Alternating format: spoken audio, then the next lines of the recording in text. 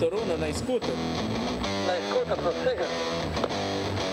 Moro tá aqui com nós aqui? Positivo,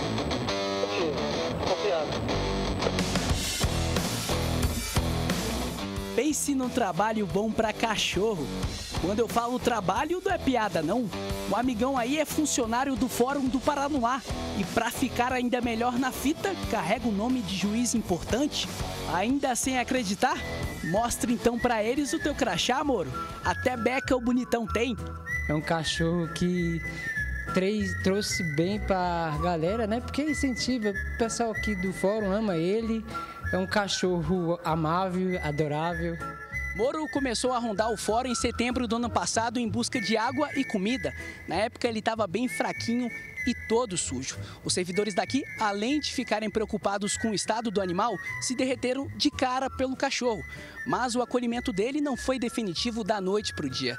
Faltava o aval do juiz que comanda a unidade para oficializar o mais novo segurança do pedaço. Então, o jeito foi a gente conversar com o juiz, diretor do fórum, e pedir autorização para que o Moro permanecesse aqui.